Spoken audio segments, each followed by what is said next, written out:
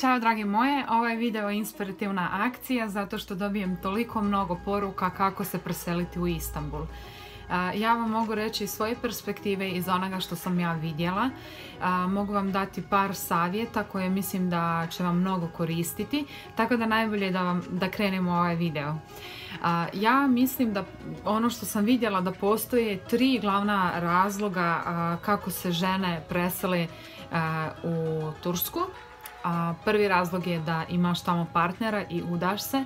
Drugi razlog je da odeš tamo studirati i treći razlog je da nađeš posao i preseliš se u Tursku. E sad, jako, tvoja turska priča će se razlikovati vezano kako dođeš u Tursku. Znači, je li to prvi, drugi ili treći razlog? Ja vam mogu govoriti iz trećeg razloga, znači ja sam tamo dobila posao i otišla tamo rati. A za prva dva razloga toliko mnogo cura je na YouTubeu i na Instagramu koje su se udale ili otišle studirati tako da možete pronaći inspiraciju u njima mislim da je, bar ja tako što sam vidjela, mislim da je najmanje cura što, nađe što nađu posao i odu same u Tursku živjeti. To je baš najmanje. I iz te perspektive ću vam ja govoriti. isto je velika razlika da li vi u kojem gradu ćete živjeti.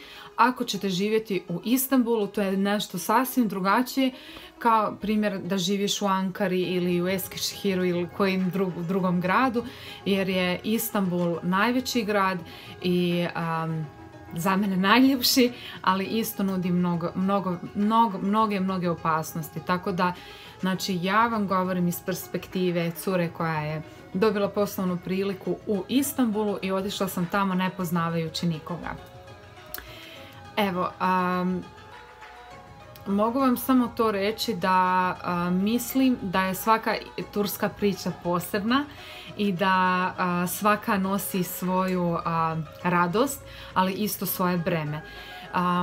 mislim da, osobno mislim da je najteži način kako doći u Tursku i snaći se taj kad ti nikoga tamo ne imaš i onda se sama snalaziš.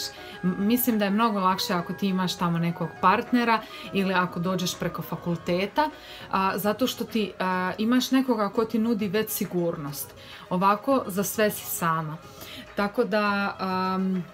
Znači, ja, sam ja sam osoba koja nije, ja se nisam predstavljala da ću ja živjeti u Turskoj, ali sam dobila tu priliku i onda sam reka, dobro, ja idem probati da živim tamo. I mislim da za to probanje moraš biti malo luda, moraš biti osoba koja ima veliku, veliku vjeru jer Istanbul će te testirati na mnogim stvarima i dobit ćeš mnogo testova. dobit ćeš mnogo testova i nekad izgleda sve crno i tad se ta vjera poznaje. Znate, mnogi ljudi govore koliko su zaista vjerni, ali vjera se pokaziva tad kad, kad ti svi govore ono, to je nemoguće, a ti dalje vjeruješ. Tako da mora, znači luda, vjera i mnogo snažna i mnogo jaka jer ti kad dođeš kući ti si sama i sama si i nemaš i nemaš nikoga da te pita kako si ili treba li ti nešto ili ne znam šta. I svu tu snagu pronalaziš u sebi da ideš dalje. Tako da to su isto tri razloga tri, tri tri osobine koje mislim da moraš imati, no mislim da, da, da da svako ima svoju sreću i svako ima svoju nafaku, kao što bi rekli u Bosni. I ako ti je, pre, ako ti je suđeno da ćeš ti ići tamo, ići ćeš.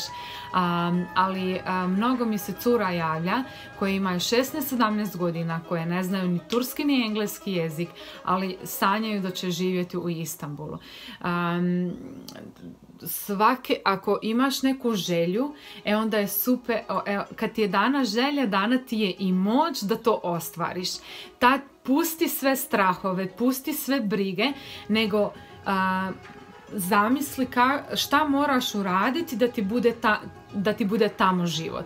Znači, ako imaš 16-17 godina, prvo Cure drage, idite tamo kao turisti. Nije isto živjeti tamo i biti turista, ali kako uopšte mislite živjeti u jednoj državi ako niste prije bile. zato što je to nešto sasvim drugo. druga stvar je radite mnogo na sebi, a, na svojim osobinama i na svojoj edukaciji, znanju kako bi postigla to što želite. Tako da ja mislim da je to to što sam htjela reći. O ovom govorim kao sestra sestri.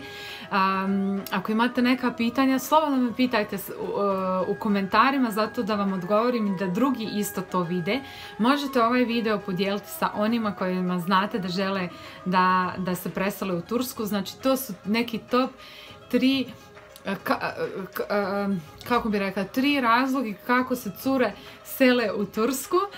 Znači, još jednom, znači, bitno je je li to Istanbul ili Turska, na koji način ste došle.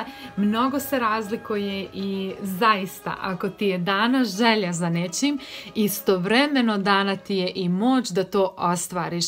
Ako ne, um, ostarit ćeš i osjećat ćeš se siromašno u svojoj duši jer nisi ispoštovala svoje želje koje su ti bile dane. tako da samo hrabro, samo hrabro dalje, no ipak morate znati da život, ako sama ideš tamo, život u Istanbulu je sve osim lagahan. Život u Istanbulu može biti, bit će i turska serija, ali i bit će puno testova koje, koje ćeš sama sve pregurati, proći i postati još snažnija. Ciao!